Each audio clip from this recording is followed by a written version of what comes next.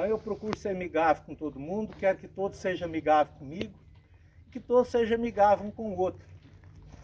Então é o seguinte, caminhão que não tiver com a grade amarrada, chegar a vez dele, o próximo tem preferência, o próximo é que sobe. O caminhão que tiver sujo, os outros que tiver limpo, o limpo é que sobe. E peça a ajuda de cada um para não jogar lixo no chão, nem um copo descartável, por favor. Se cada um puder é, ter uma sacolinha, o lixo que produzir, põe nela.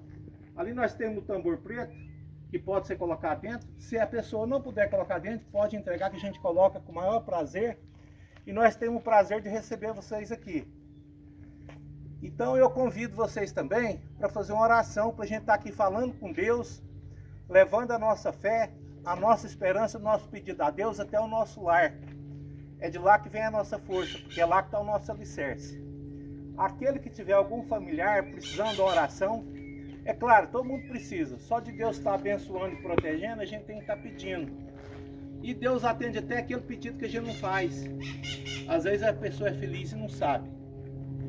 E, então nós vamos aqui e aquele que tiver uma mágoa no coração, que Deus possa abençoar, que essa mágoa saia, caia sobre a terra e que a enxurrada leve para bem longe.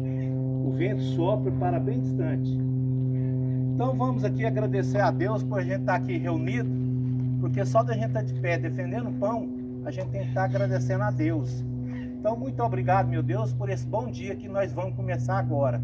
E contamos com a sua bênção, com a sua ajuda e acompanhe cada um aqui presente até de volta no seu lar. Ao chegar na sua casa, gente, abraça sua esposa, pergunta para ela como é que foi na sua ausência, abraça seu filho, né? Então vamos valorizar mais a família, que é, é o que nos ampara. Na hora mais difícil é sempre quem está com a gente é a família. Então vamos fazer tudo isso agradecendo a Deus.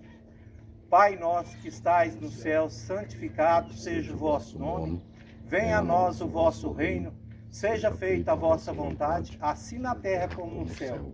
O pão nosso de cada dia nos dai hoje, perdoai as nossas ofensas, assim como nós perdoamos a quem nos tem ofendido, e não nos deixeis cair em tentação, mas livrai-nos do mal. Pois o teu reino é o poder e a glória para todos sempre, Senhor. Abençoe todos nós. Amém. Dai-nos saúde. Palmas para Jesus.